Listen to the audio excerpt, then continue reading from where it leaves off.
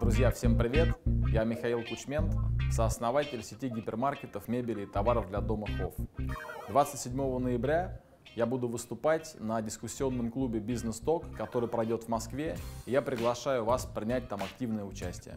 Мы поговорим с вами о вещах, актуальных для любого предпринимателя, о том, как искать точки роста в кризис и о том, как изменение культуры потребления дает новые конкурентные преимущества.